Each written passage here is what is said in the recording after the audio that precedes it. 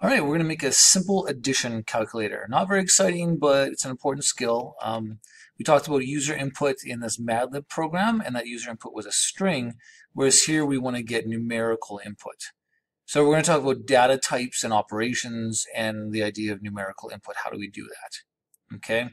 Um, so you know what, to start off with, I'm actually going to open up my console, and I just, oh dear, you know, I'm going to go to, apparently Google uh, Drive or Google Docs have a lot of stuff in them.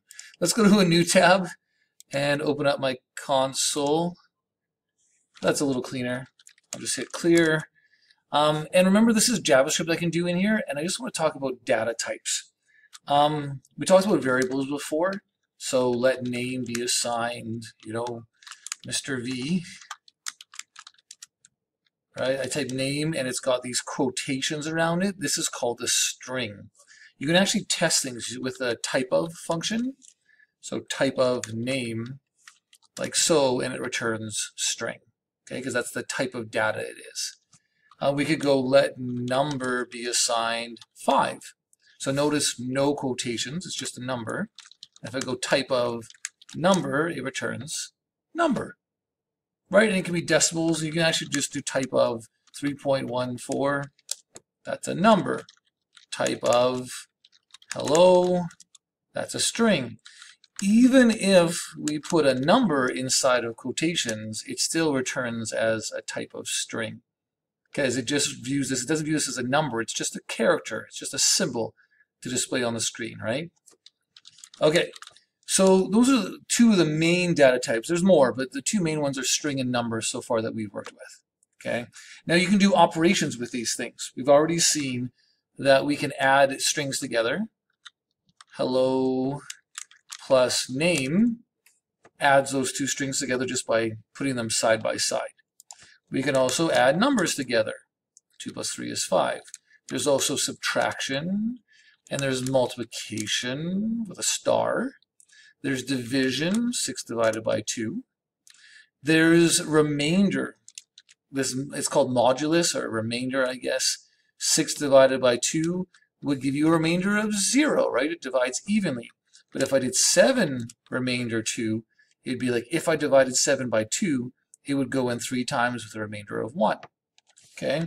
You can do um, to the power of, this would be 2 star star is to the power of 3.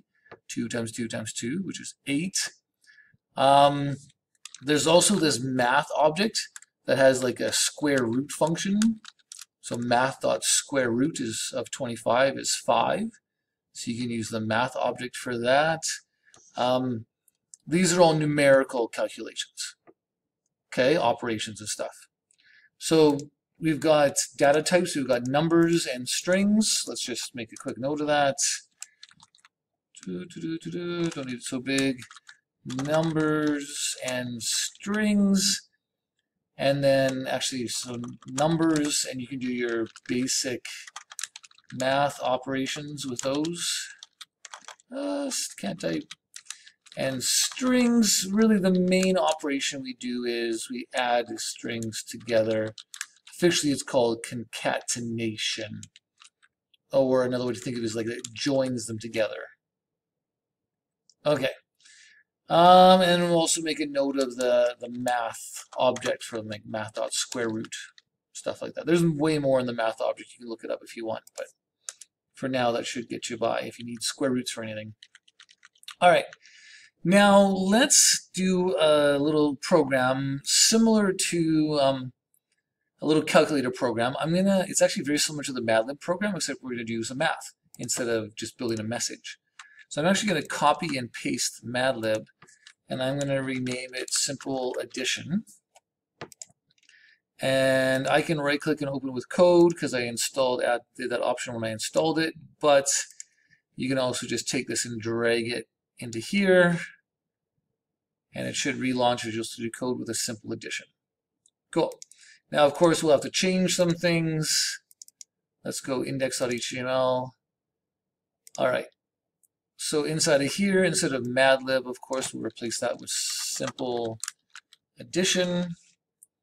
This h1 will be simple addition. Uh, the instructions, I don't even know we need instructions, should be pretty simple. I will just do two numbers, enter two numbers, and then hit the, or click, hit, click the calculate button. So my input, let's go, you know, number one, and number two, and we don't need this paragraph because we're only going to two. We should change these IDs because we want to make sure things are, are meaningful, right? So let's give this num1, and let's give this the ID num2. Okay, this button, we're going to call this the calc button, and it will simply say calculate on it. And then output, that's fine. We can do that. Um, actually, maybe what we can do is we could do something like the sum of the two numbers is, and then you can do like a span tag. And I'll just put some dashes in there for now because we don't have an answer. And we'll give this the ID um, result. And I guess this paragraph doesn't need an ID now because we'll just select the span tag and change its content to output the result. Make sense? Input, click the button, and we've got a spot to put our answer in. All right, good. And then our main.js, let's see what that does. So again, we'll change this to simple addition lesson. Add event listener is good, except we just need to change it to a calc button. Click event, and let's call our function calculate. Makes sense to me. Calculate. And then we'll let num1 be assigned document get element by ID num1. It's okay to have these the same variable or the same name because this is the ID in the HTML and this is a JavaScript variable. Um, I, I, I think that's fine. I don't think there should be any problem. So we'll get that element by ID and get its value. Change this to num2. We'll get that num2 right? The input elements have the IDs num1 and num2, so we'll select those input elements and get their values, and we don't need that third one. Now here's the difference. We're going to change this. We're going to do our process, it's called. This is actually a very common algorithm. Um, it's called an IPO algorithm, or an input process, and then output. And our process is going to be let um, total be assigned num1 plus num2.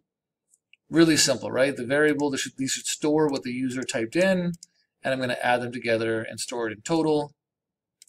Um, I think we called that result dot inner HTML is assigned total. Right, so when I click this button, it's going to run the calculate function. Here's the calculate function. I get the input from these input elements, the values of them. I use those values and add them together and store the result in a variable. And then I find this result element right here. Span is that result element. And I assign it to be whatever the total is. Okay, save. Let's see what happens. Um, I guess I should launch this, go live. All right, I like to open my console. It's nice to have that open just in case there's any error messages. Let's try 25 plus 2. No, 7. Calculate. Wow.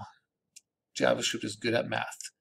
25 plus 7 should be 32, and we got 257. All right. We talked about this before. 25 plus 7 is 257, right?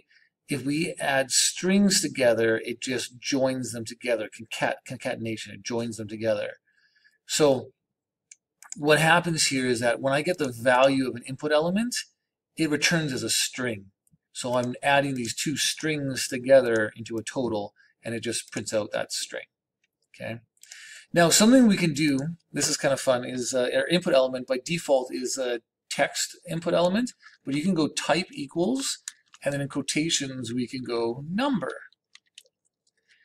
And a lot of people think this is going to fix the problem, um, let's see what happens when we do this. So see, these little arrows weren't here before. And if I hit um, 5, if I try to hit letters, it doesn't do anything. E is a special letter that can be used in numbers for an exponent type thing, but if most letters don't work, so that's part of it being a number input element, and these arrows allow me to increase. Okay, so that's just changing this input element. But when I calculate, I still get 7 and 8. Even though I said, hey, please make this be of type number, when I get the value of these input elements, it still returns it as a string. Okay, even though it says type number, the, the type number just changes kind of the behavior of this input element um, as these little arrow things, but the value still returns a string. All right, so how do we fix it? Well, we can use the number function that takes in a string and it tries to convert it to a number. Notice it doesn't have the quotations anymore. It converted that string into a number. This works great unless your string is like 7. right? It doesn't understand that the word 7. And this NAN is not a number. Okay? So we're, we're just going to, we can do input checking and stuff, but for now we're just going to assume that the user is going to enter the right value. What I can do now is this value, right? This thing right here returns that string. I can go number, and I do an open and close parenthesis around this value. So this is a string. It goes inside of the number function, which will convert it to a number and then store it in num1. Okay, I do the same thing here, and that should convert them to numbers. And now, let's see if our math is right. 9 plus 8 is not 98. It should be 17. Okay, so it does treat it now as actual numbers. Cool. Okay, so again, this event listener stuff should be good. The function, right, this input process output, we're getting the value of that input element, but we're adding that, converting it to a number.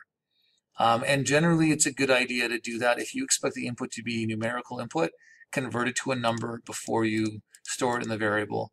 And then when you do these operations, these are two numbers and it'll do the actual addition, the math addition, not a join together, but a math addition. Okay, that's it. All right, so numerical input, um, maybe a note we could make here is that, um, well, that's big. Uh, we can make a note, um, input, uh, sorry, value of input elements always returns a string use this number function to convert to a number. Um, okay, hope that makes sense. This is actually this IPO algorithm. Um, we'll do more complicated stuff than just simple addition, but this is kind of uh, one credit uh, where the this algorithm is important, being able to get user input, store it in variables, do calculations on it, and output the result um, is structured programming one. So we'll do a more complicated one, and I'll get you guys to do some practice on this, and that'll uh, be one of the, the key structured programming skills that you need to know. All right, hope that made sense, and take care, and see you in the next video.